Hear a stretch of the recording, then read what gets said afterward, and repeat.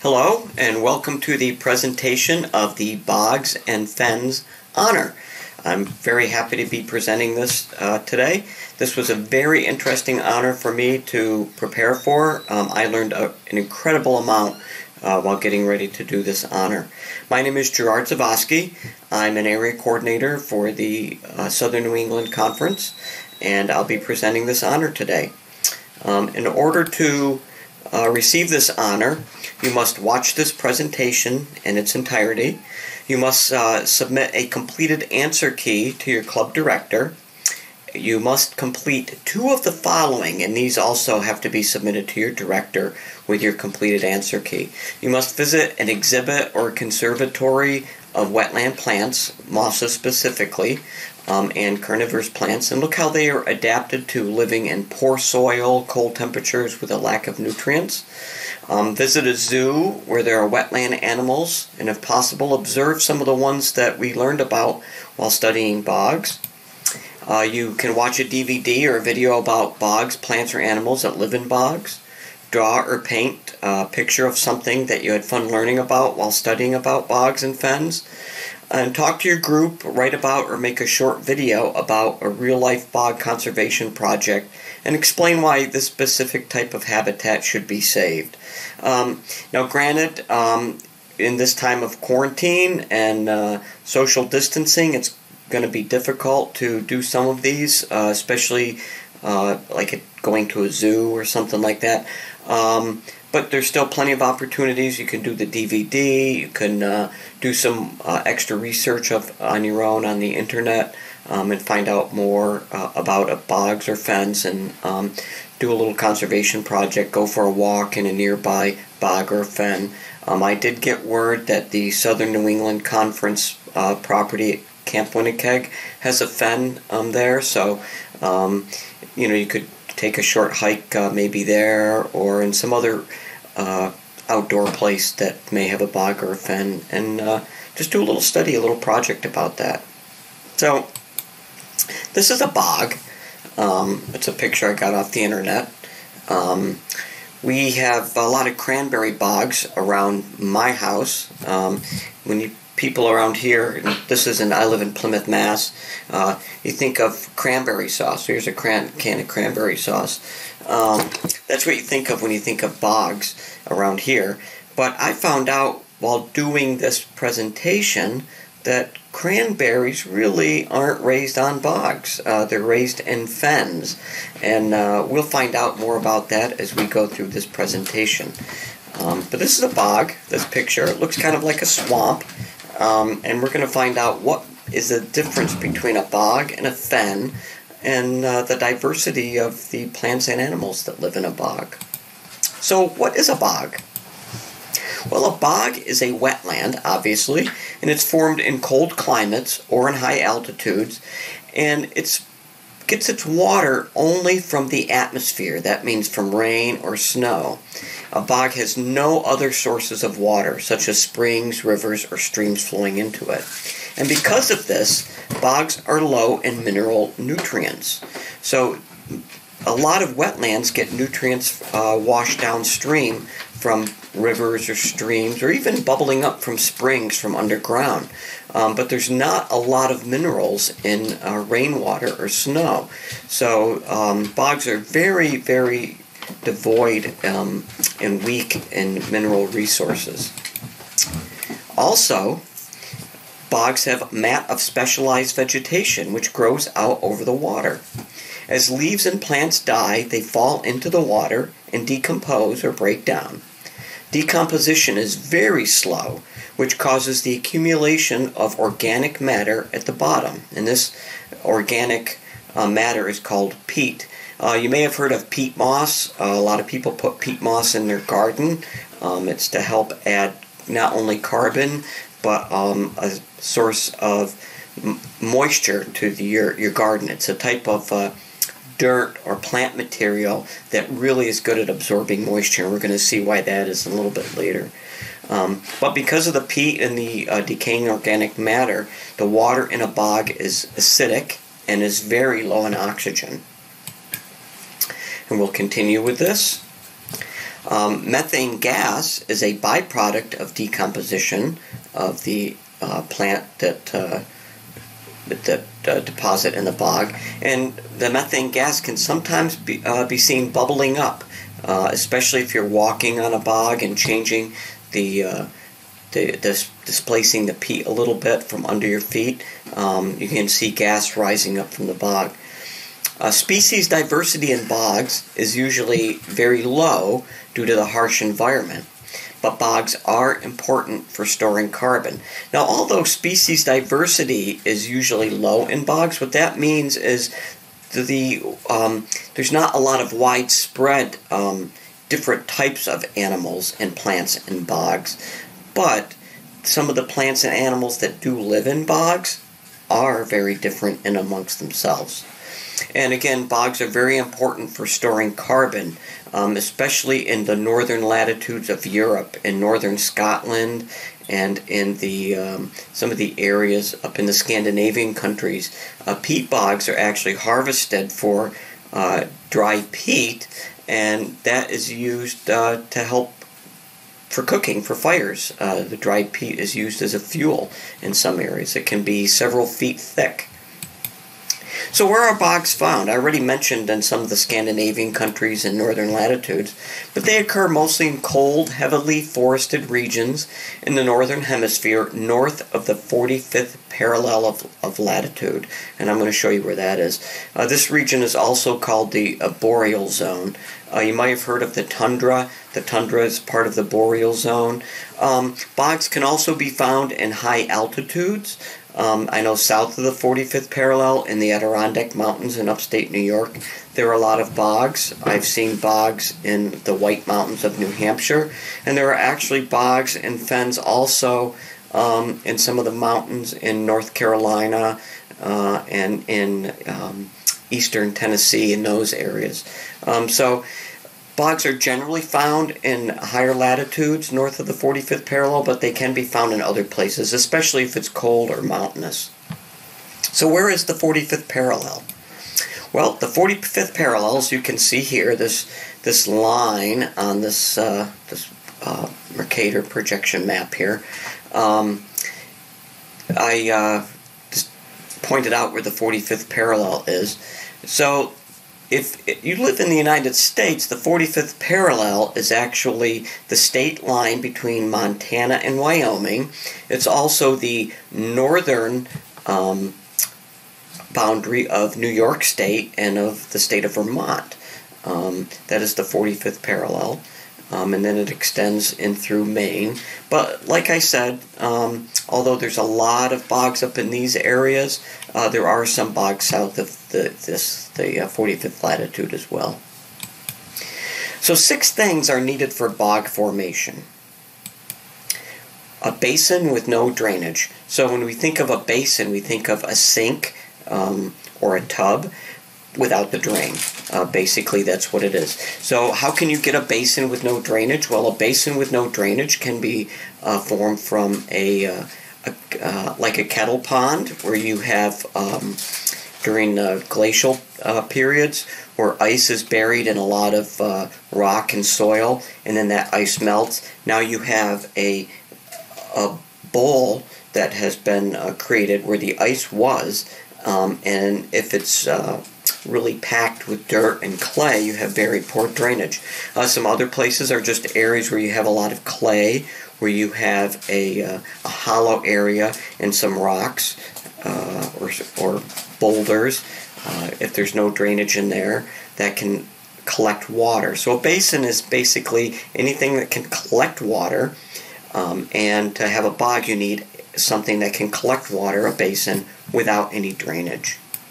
The second thing you need, which we already discussed, is uh, a source of water being rain and snow only. You can't have a, a stream uh, coming into a bog or spring bubbling up from the bog. You need cool to cold climates. Um, and specifically, uh, the reason for that is if you have warmer climates, you end up getting into more of a rainforest type um, situation where you have uh, very um, completely different plant life and animal life, and the species diversity can be greater. Uh, with cool to cold climates, you're really um, going to end up with what is needed for a bog formation in that type of wildlife and plant life. You also need more precipitation than evaporation, and what that means is you have saturated conditions, which means that um, the bog will never really, really dry out. Uh, we're going to go over the history of a bog, what can occur over years, but um, generally a bog will just eventually spill over the sides of the basin that contains the bog, and you will never actually have um, the bog level going down uh, and evaporating. You're going to have very slow decomposition resulting in peat formation, and that is from years of plant material just forming, falling down to the bottom, and because it doesn't really decompose that well, more and more plant material just gets laid on top. And finally, you have some specific and amazing plant adaptations. Now, I already uh, discussed that the diversity is very low, meaning that there's not a lot of different species, but the species that are there are very different. I, I know that kind of maybe sounds a little bit uh, uh, weird, but um, there's not a lot of plant species, but the ones we have are different than what you find in other places.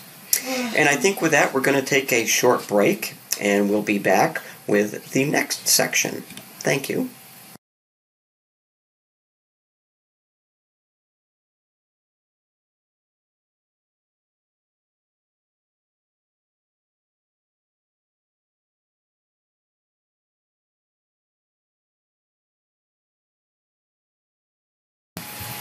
Oh, welcome back to the continuation of the Bogs and Fens Honor presentation.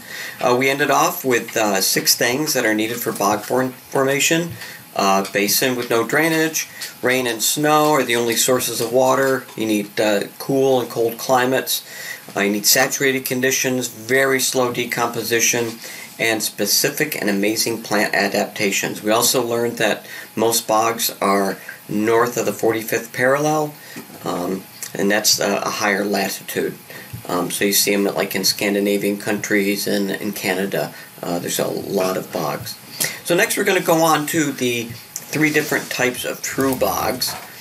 Um, so the first one is a blanket bog or a mire bog. So this type of bog has an extensive peat cover um, and it doesn't just cover the basin filled with water, but the blankets extend past the basin boundaries and cover the ground over large areas, including hilltops, slopes, and plateaus. You need about 200 days of rainfall a year to form these types of bogs.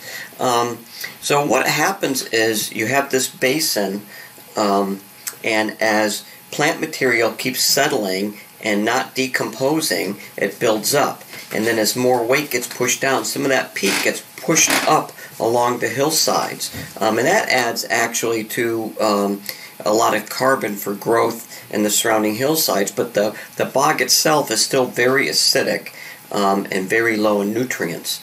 Um, so the, the bog itself still has its own um, interesting plant life and animal life, but some of that carbon does get pushed up over the hills and it forms these blankets that extend up past the basin. Um, and so that's a blanket bog or a mire bog. And here's a picture of one. So you can see here would be the, where the water is. And then uh, you have peat and the sphagnum moss on top, which we're going to talk about sphagnum moss. And then you can see how as that gets pushed down, the water doesn't allow much of it to go back up, and so some of that just gets pushed down or pushed up over the uh, the hillsides um, over time. It's a very very slow gradual process. So the next type of bog is a quaking bog. This type of bog has floating mats of vegetation, including mosses, shrubs, and trees. The whole mat shakes when stepped on, and larger movements may actually cause some trees to sway. And we're going to learn a little bit about that uh, uh, further on, but this is the first type of bog that uh, I encountered that I knew it was a bog when I was camping in the Adirondack Mountains in New York.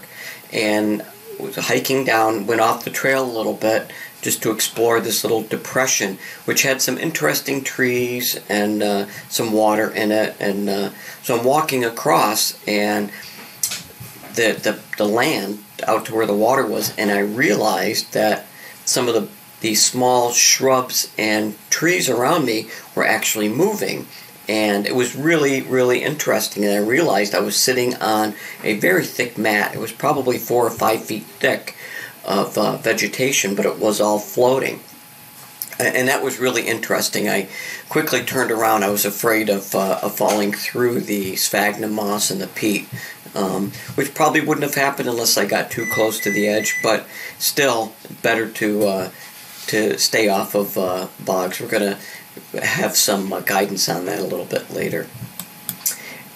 So that's a picture of a quaking bog. So you can see we have water, you have the peat and sphagnum moss, and you can actually step out onto here and you can actually get trees forming on this uh, floating uh, peat and sphagnum moss. Uh, you can get shrubs and small trees. And the third type of bog is a raised bog, and that's a type of bog in which peat deposits grow above the water level and it actually forms domes or raised mounds. These mounds may be surrounded by water uh, and they can actually form some islands.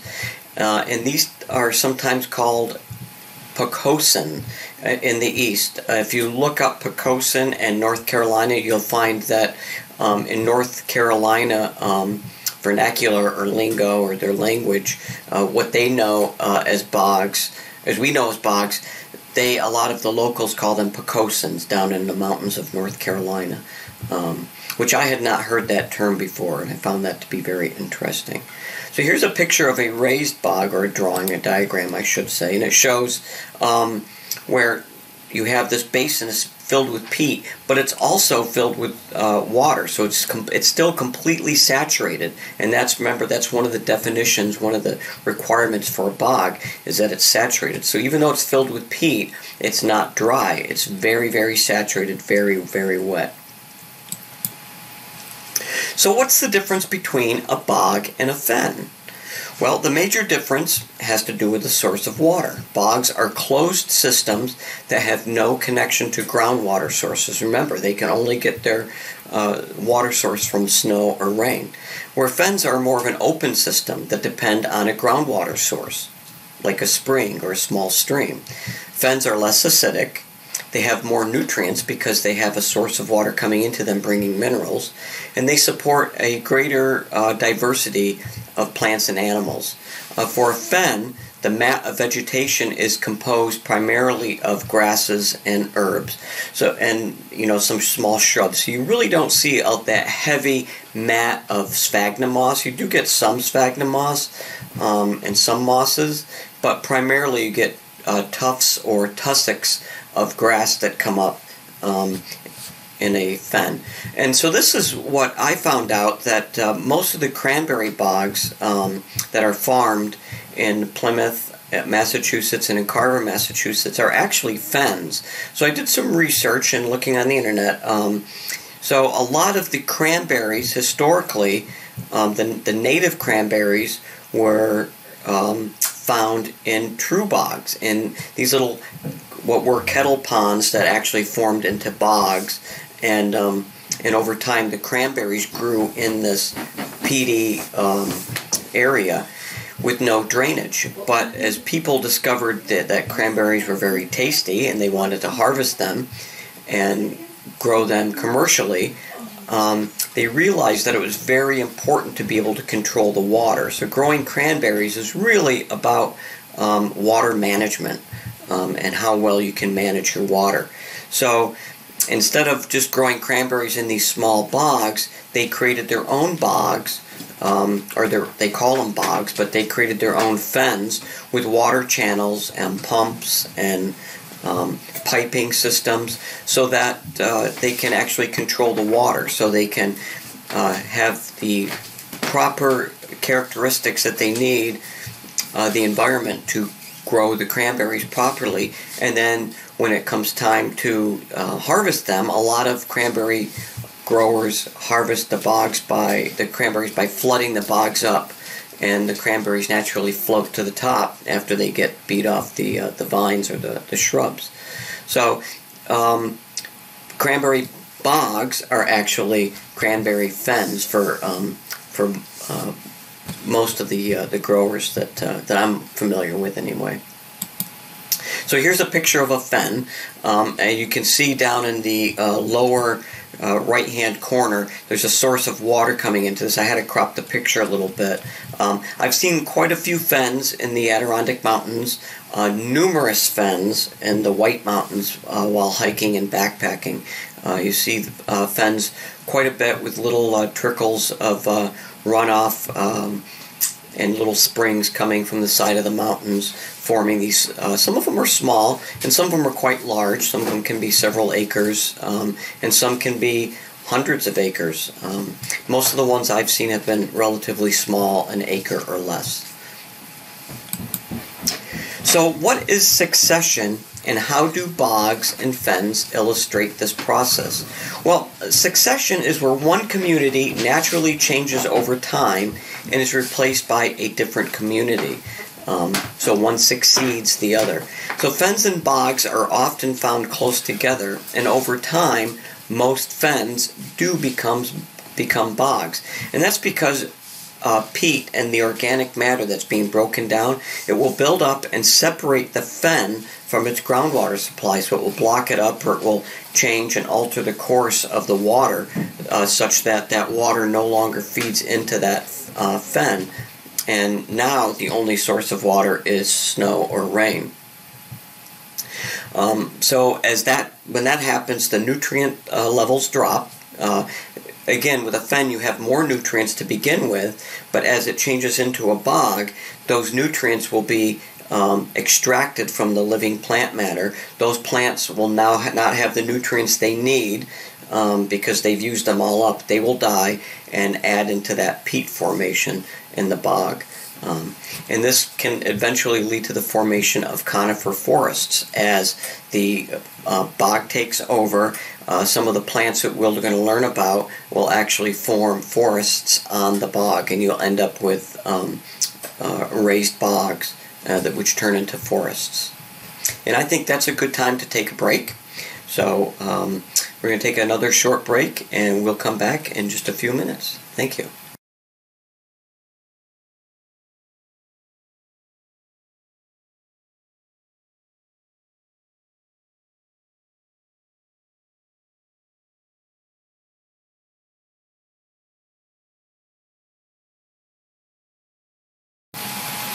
Hello and welcome back to the continuation of the Bogs and Fens honor presentation. Uh, we finished off with succession and how do Bogs and Fens illustrate this process. We found that um, Fens generally gradually change over time into bogs due to the um, closing off of the groundwater supply. We're going to show some images now on uh, how that uh, succession occurs.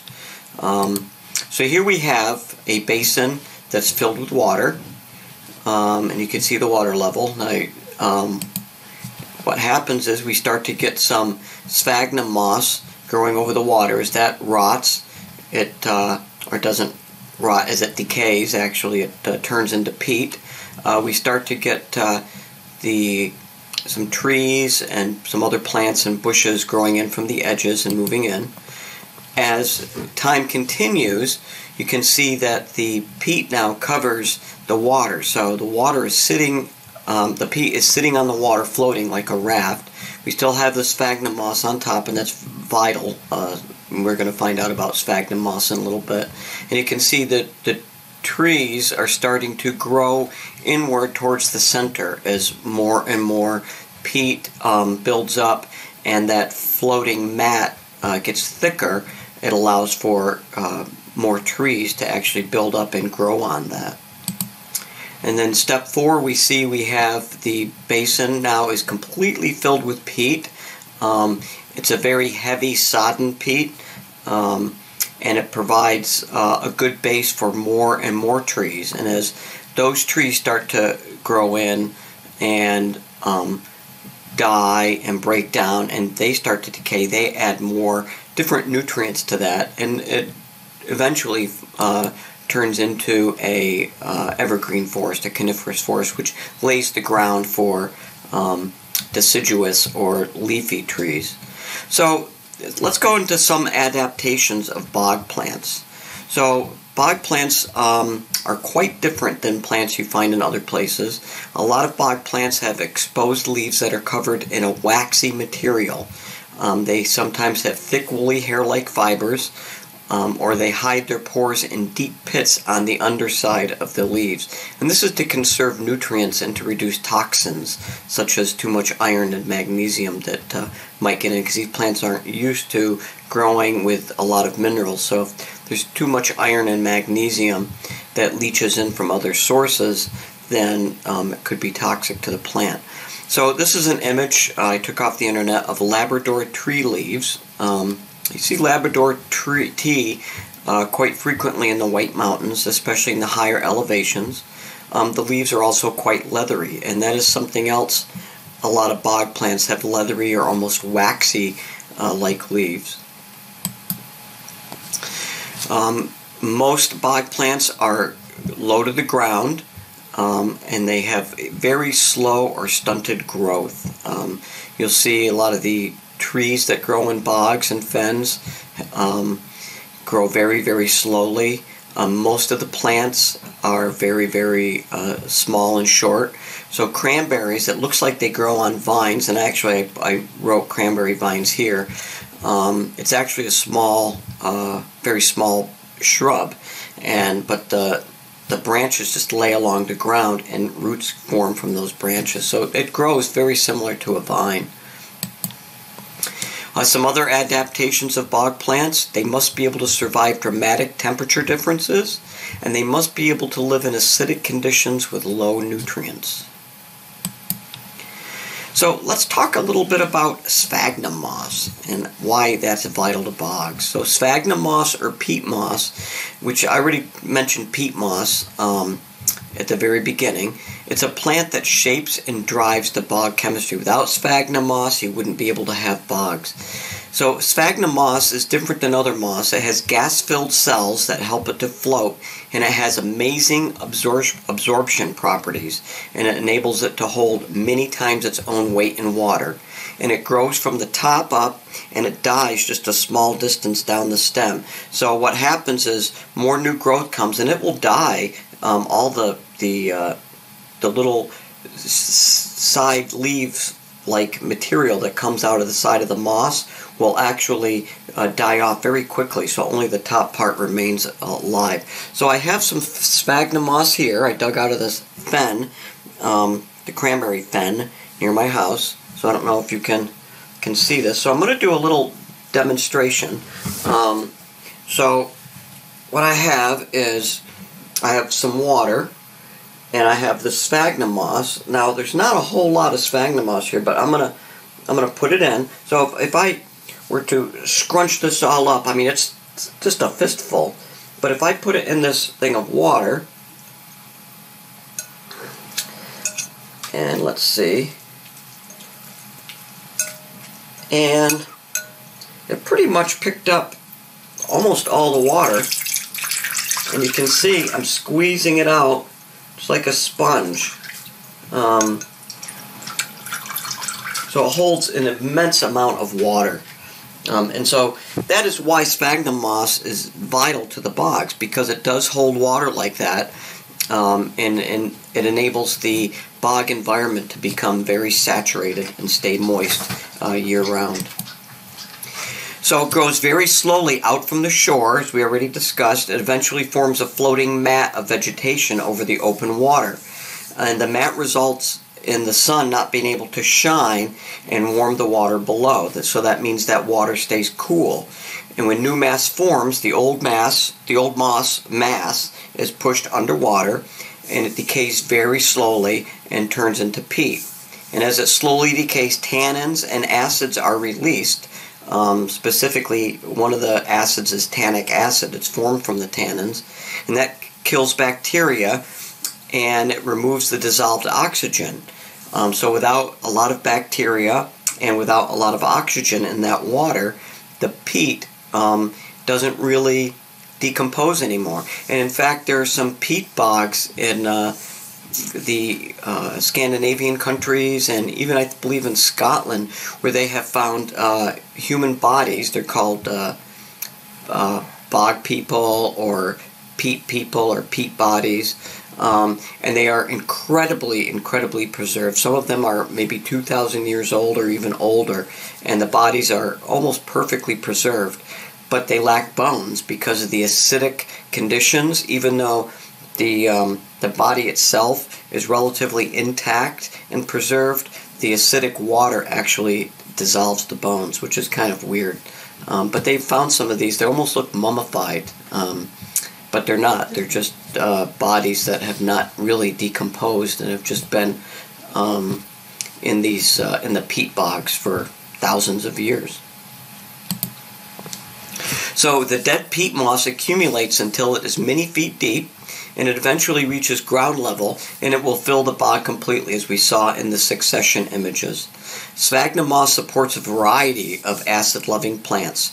Shrubs and trees can grow on the top of the floating mass over deep water. Um, it's also called a bog forest. And when stepped on, the mats shake, and I already discussed that and how when I was on one, it, how it shook and we get, got little waves going, which was pretty weird. Can tilt and ripple, causing even trees to sway. Now, here's some of the guidance. Falling into a bog can be dangerous. Uh, so it's best to stay on designated boardwalks and trails. So if you find yourself someplace um, when you're out hiking um, and you're off of a trail and the ground starts to sway a little bit and it might be a bog, then highly recommended you turn around and go back the way you came because you don't want to get pushed through into that sphagnum and peat um, into the bog itself. So one of the interesting plants that we find in bogs are carnivorous plants. Um, so carnivorous plants they do not require a lot of nutrients from the ground because they get uh, some of their mineral, mineral nutrients from animal life, specifically uh, primarily insects. So carnivorous plants trap animal prey, primarily insects, to make up for the loss of nutrients they can't obtain from the environment. The traps are modified leaves and may be active or passive, and we're going to discuss that a little bit depending on how they catch their prey. So the first plant we're going to talk about is a pitcher plant. These plants form a slippery, colorful cupped leaf and have a nectar covered lip to lure insects. When an insect slips and falls in, it's trapped by downward pointing sharp hairs. So you have this tube, and inside the tube are all these little hairs. But the plant itself in the middle has some like um, uh, liquid in the bottom that can digest the uh, the insect. But right on the lip, that covers the, the, the, this tube, there's really sweet nectar and it attracts flies and, and other insects. And then when they go down in, they can't climb back up because of these sharp downward pointing hairs. And these enzymes in the liquid at the bottom uh, digest the, uh, the insect. I have a picture here. Here's a picture of a pitcher plant. So he, the nectar would be up inside this hood, so the plants would, or the insects would fly in. Um, and fall down in here or maybe climb down in thinking there's more nectar and then they can't get back out.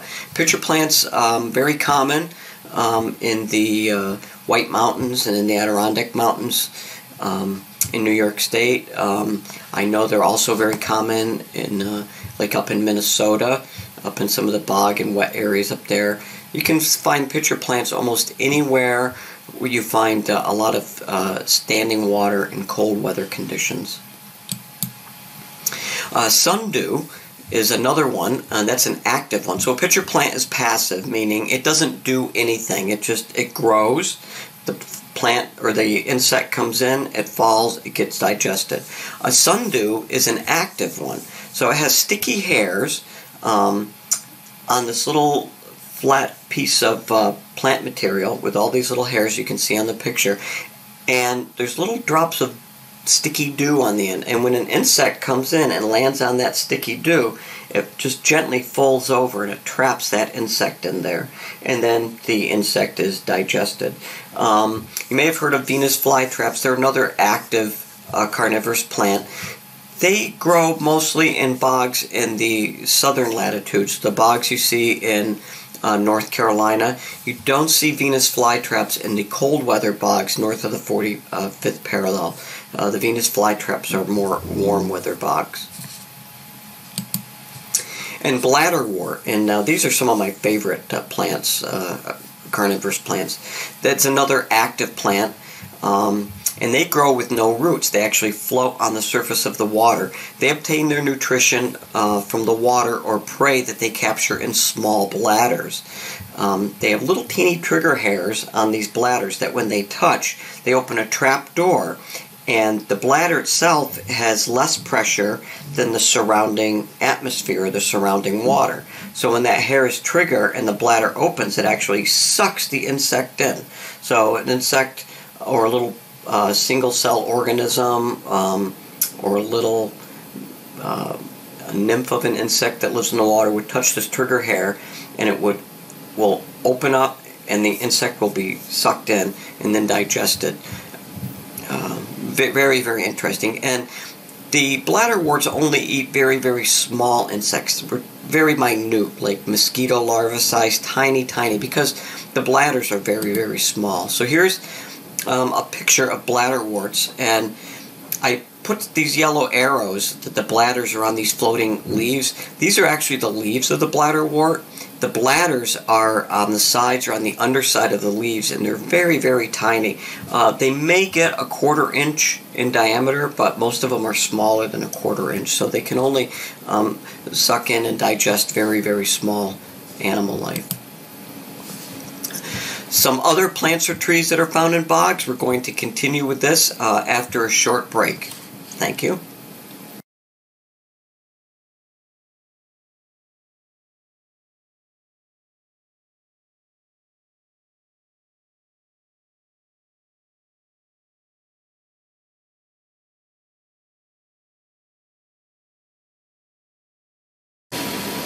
Welcome back, and this is part four of the Bogs and Fens honor presentation.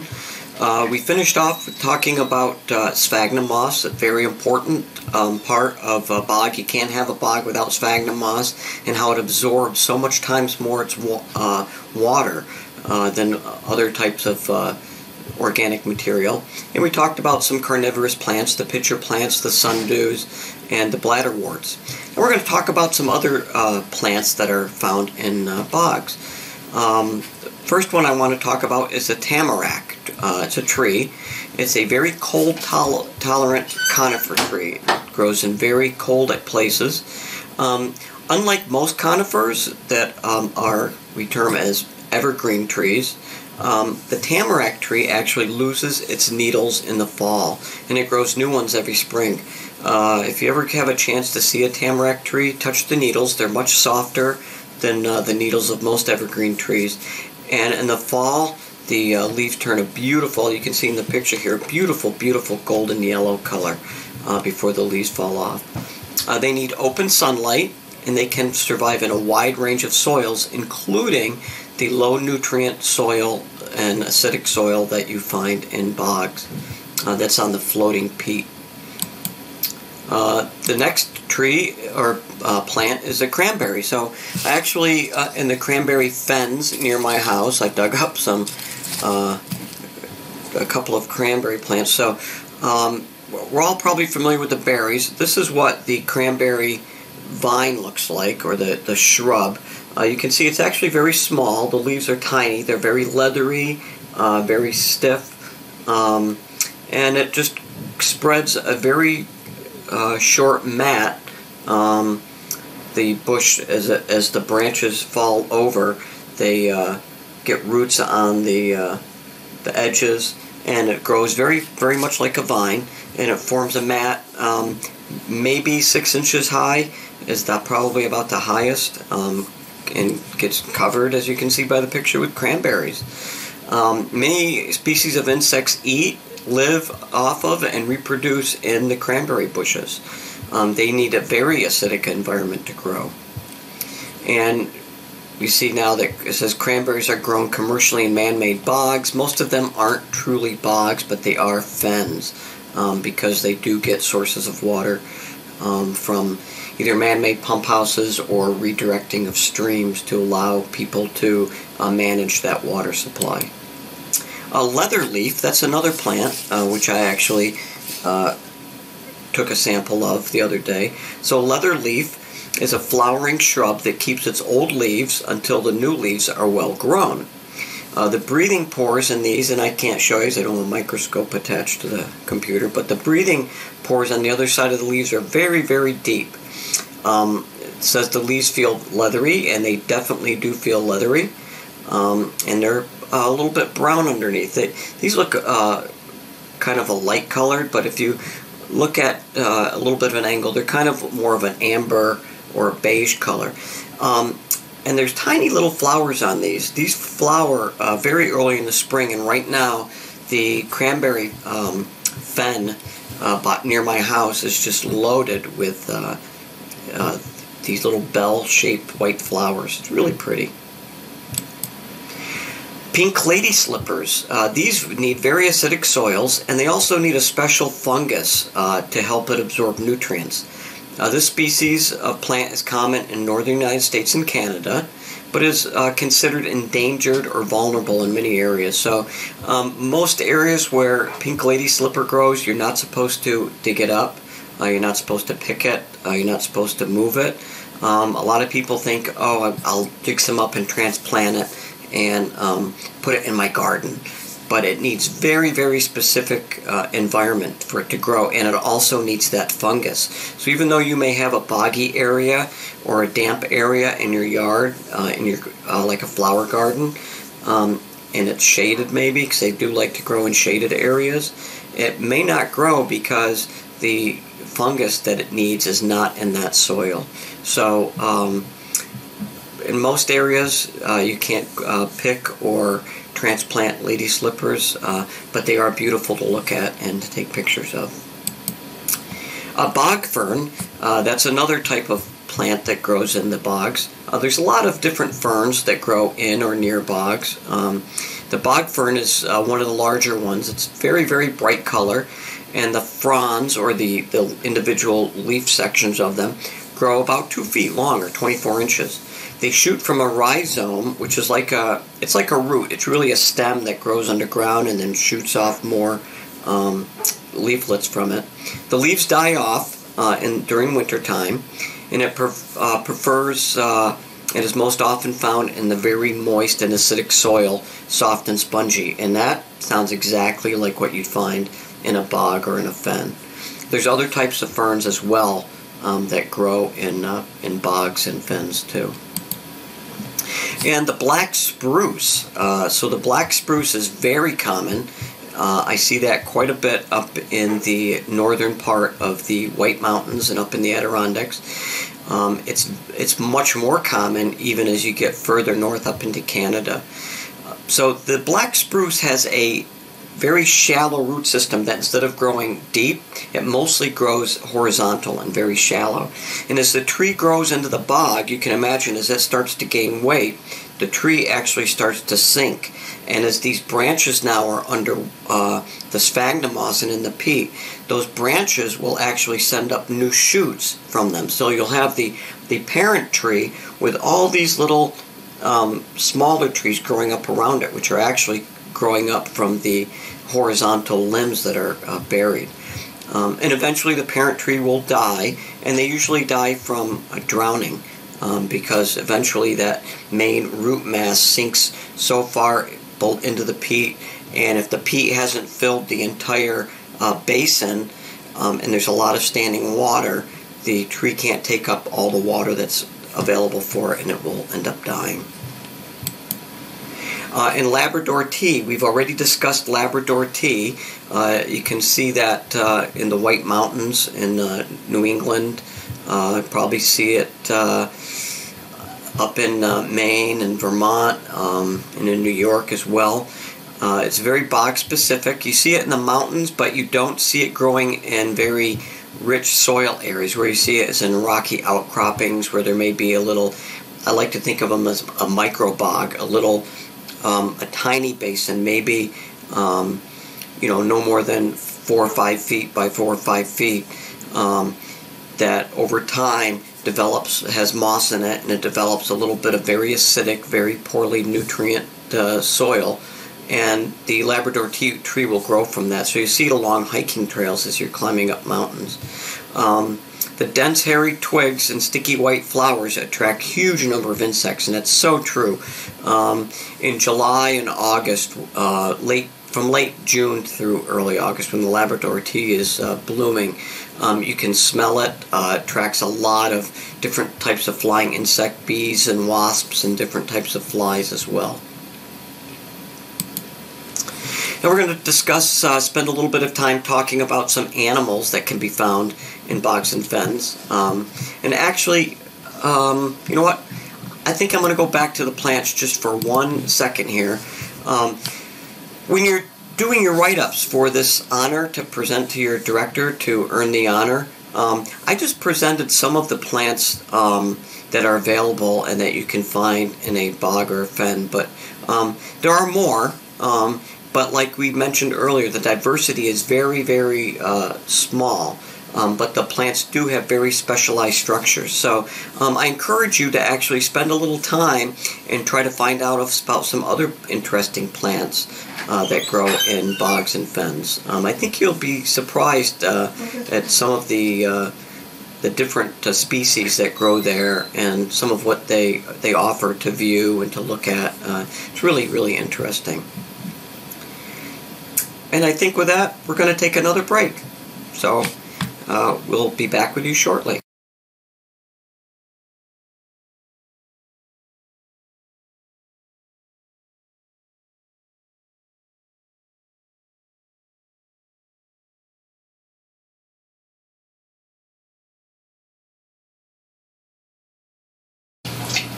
Oh, welcome back, and this will be our fifth and final section of the bogs and fens presentation.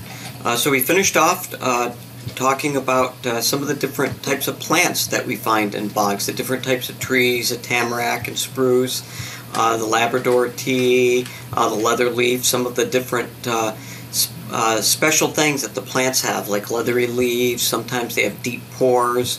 and hairy undersides, and all of them are able to survive in the very acidic, um, damp environment of the bog.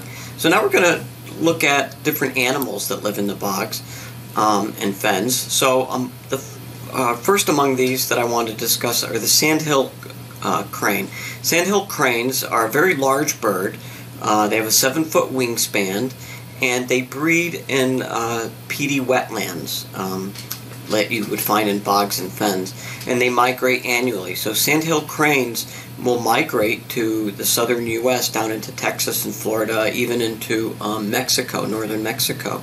But they breed in the very northern U.S., um, way, way up north, and um, primarily in southern and central Canada. Um, so that's where they do. They spend most of their time breeding, but they do spend uh, colder climate, colder colder seasons uh, down south, and they're very dependent on uh, on the bogs for breeding. Uh, next is a wood frog. Uh, the, it's the only frog that's found north of the Arctic Circle, and it's primarily terrestrial. That means it spends most of its time on land. Doesn't spend a lot of time in the water. Um, it prefers to spend time in damp uh, logs and, and leaf litter uh, and in boggy areas. They have an explosive breeding cycle. So what that means is that all the frogs head to the water and breed in one or two days. Uh, that's it's really unreal. Uh, if you live in New England and you go out in the spring, um, it was probably maybe a week or a week and a half ago is where I heard huge choruses of wood frogs coming out. They're different than the spring peepers. The spring peepers are more of a chirpy sound. The wood frogs have um, uh, more. It almost sounds like a crow uh, cawing out in the woods. Um, but it, sometimes the sound can be so loud it's deafening. Uh, they hibernate in the winter in dead logs under leaf matter or in burrows. And what's really interesting about a wood frog, here's a picture of one. Um, and I've seen them usually around two or three inches long, um, orangish brown color. Um, they're they're freeze tolerant. That means their heart and their breathing stops completely, and much of their body freezes. Um, so God has given them very good antifreeze uh, to prevent them from dying in the winter because they do, uh, for all intents and purposes, um, they, they pretty much die really in the winter. They freeze. Uh, and then with warm weather, their breathing and their heart functions resume, and the frog wakes up from hibernation and starts that breeding cycle once the water is out because they do lay their eggs in water. Um, that is really the only part of them that's very aquatic is uh, when they breed and lay their eggs. Another uh, animal is a bird, a black-backed woodpecker. Uh, this bird lives year-round in bog areas. Its primary food are the wood-boring grubs of dead conifers, uh, particularly the black spruce. So we talked about the black spruce. It's a very common tree that you find in bogs and fens, especially in the northern latitudes. And um, there's a beetle which we're going to talk about a little bit that uh, can infest the black spruce, and the woodpeckers primarily feed on those uh, beetle larvae. And the moose. Uh, the moose, I think we've all probably know what a moose is. It's a large mammal. Uh, it's the largest deer. Uh, it has very long legs and wide feet that makes it very good at wandering in swamps, bogs, and fens. And it can wade and browse in very, very deep water, mud, and muck and uh, it eats. It's a plant eater.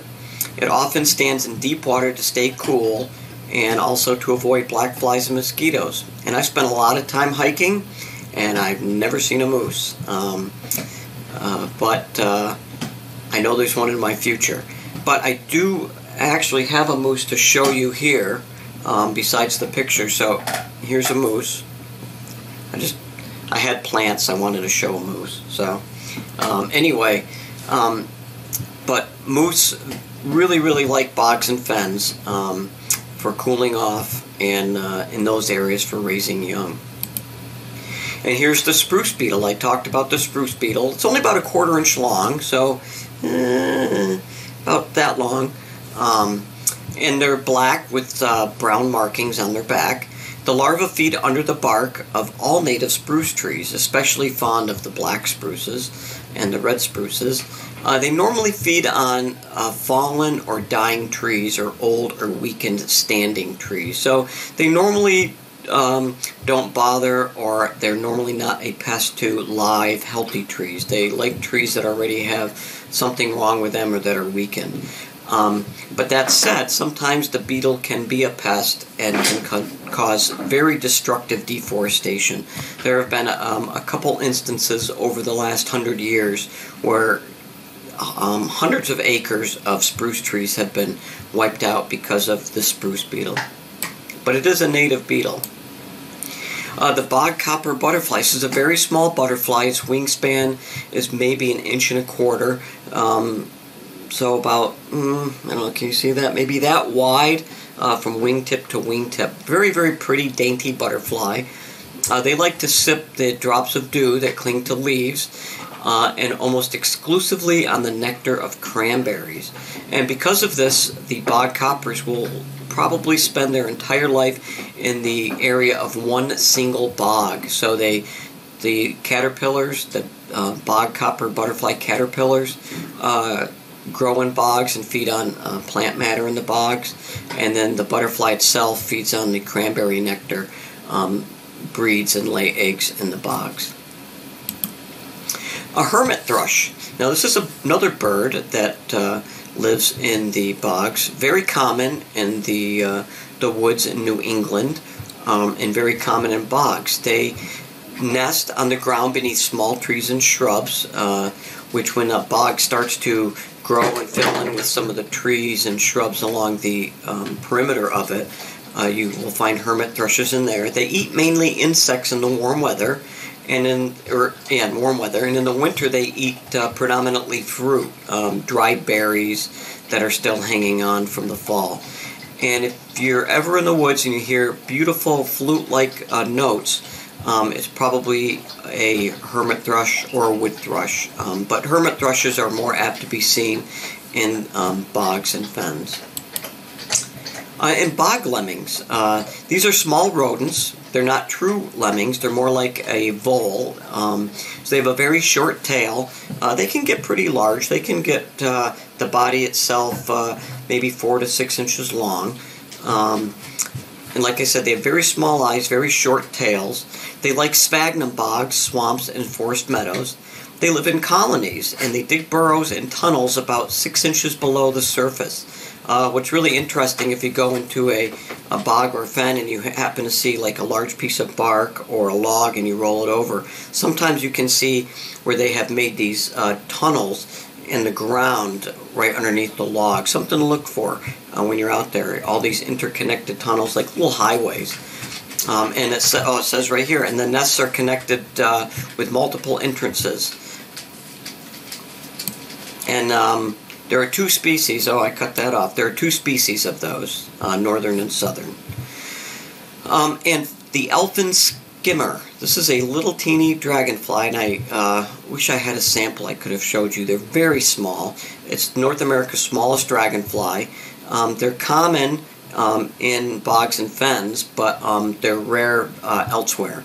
Um, because they're small and they don't fly very well like a lot of dragonflies buzz around. These fly very, very slow. They spend most of their time perching on grass, um, and they mainly feed on small insects. Uh, like mosquitoes, it's very small. And when I say small, an elfin skimmer, the body is only three quarters of an inch long. Um, so they're not very, very large at all. And the beaver. I'm sure we've all heard of the beaver. So the beaver is a very large brown rodent. It's got a flat tail, very large webbed feet. Uh, they chew on trees, um, and they do that to um, to drop them to, to dam water sources um, for food. They drag uh, tree branches underwater where they stay uh, good to eat through the winter. And because beavers can cause water to back up or cut off water supplies altogether, they can actually create uh, fens and bogs. Um, and if you out in the woods a lot, you can see areas where there's some old abandoned beaver dams and a lot of spruce trees and spongy uh, ground that you're walking on, and you can pretty much infer that a beaver had dammed that, maybe a small stream. It built up as it uh, the ground grew up over the peat. The stream actually rerouted around it, and then that area became a bog. And the final thing I want to talk about is a spiritual lesson learned from bogs and fens. Um, so I mentioned I live in Plymouth, Mass. Um, this is a picture here of some cranberry bogs not too far from my house. This was back taken in 2005, or about 15 years ago. Um, it was about 40 acres of cranberry bogs, and the individuals that farmed these cranberry bogs, um, it was a very, it was difficult, hard work just because of how the bog was situated and how the clay was and the water sources. So they decided to sell them, and they sold them to the uh, the government, um, and the government wanted to restore them to how they were. Um, so years before it was cranberry bogs, it was a beautiful wooded wetland. So they had a lot of uh, native uh, Atlantic white cedars, um, uh, a lot of different species of plants and animals, but it was deemed that it was a very good place to grow uh, cranberries. So all the native species were uh, wiped out, channels were cut in, piping was put in, and cranberries were grown for uh, about 60 years in this area, maybe a little longer actually. So in 2008, the decision was made by the government to restore the bogs to the beautiful natural landscape that it once was. So the cranberry bogs were destroyed. Uh, they were completely wiped out. The area was scraped clean. Um, there were a lot of um, native plants that were brought in. They put up a fence, a 12 foot by uh, 12 foot foot high fence, and that was put up for about five years to keep. Uh, people and uh, animals like deer out of the uh, area to prevent them from uh, munching on or walking on uh, the new plants that were planted. Uh, so the native plants were reintroduced, including uh, red cedar or white cedars. I think they planted maybe 5,000 cedars in the 40 acres, maybe even more. It was just a tremendous project. Um, And a lot of people didn't think the area was ever going to recover because they planted it, uh, put up the fence, and then they walked away. But then, as you can see in this picture, um, it's almost taken from the same image of that as that first one. Within a few years, the area was renewed, and it was quickly becoming a natural wetland. A host of plants and animals that had not been seen in years uh, began to return. So I used to hike here, and uh, when it was a cranberry bog, and you'd see the occasional bird, maybe a red-tailed hawk, um, and not much else really. Uh, once this occurred, we started seeing uh, muskrat, uh, otters. Uh, we see osprey in here now, uh, great blue heron, can, Canada geese, and a wide variety of mergansers and other type of ducks nest in here. Um, it's just it's a beautiful area, and it's returning to the way it used to be. So the the bogs and fens in that area were changed uh, from a worldly, man made area to something that is natural as God intended. And the spiritual lesson I get from that um, is what we can do with ourselves, as described in Romans 12 2. Uh, do not be conformed to this world, Paul writes, but be transformed by the renewing of your mind, that you may prove what is that good and acceptable and perfect will of God. And so I see that how that bog was restored when you push away the man-made things and let God take its course and work within you, like God did with that the uh, bogs to restore them to the way that they should be. God will do that within yourself as well. If you put aside the thing of things of man and let God into your life and let God take control and do the things that is important for you. And that is the end of the Bogs and Fens honor presentation. Um, remember to submit your completed answer key to your club director and complete two of those activities. Thank you very much and have fun. Blessings to all. Bye bye.